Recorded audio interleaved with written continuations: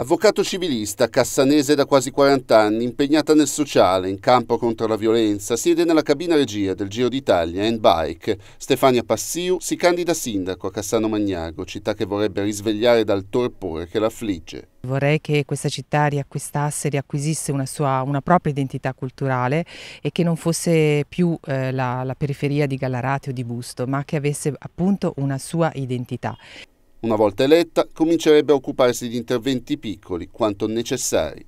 Mm, ci sono esigenze concrete, anche molto semplici, quindi sistemazione delle strade, illuminazione, anche in termini di sicurezza, ehm, lavori che eh, sono necessari per affrontare eh, il rischio eh, idrogeologico, manutenzione dei parchi, ehm, strade, marciapiedi, ehm, cestini piuttosto che ehm, altri interventi insomma, ehm, ordinari, diciamo così. Occhio di riguardo alla cultura e alle fragilità, massima attenzione al tema della violenza di genere e ai concittadini più vulnerabili.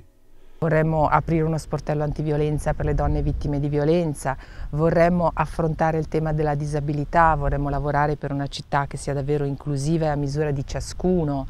All'orizzonte l'apertura di una banca del tempo per i nonni cassanesi che faccia da serbatoio di energia e attenzioni eh, dove le persone possono mettere a disposizione un po' del loro tempo proprio a favore degli anziani, eh, magari organizzata e gestita dai giovani con gli strumenti ehm, digitali di cui ovviamente sui quali loro hanno grandi competenze e questo servirebbe anche a creare un'interazione tra le generazioni che è sicuramente eh, virtuosa.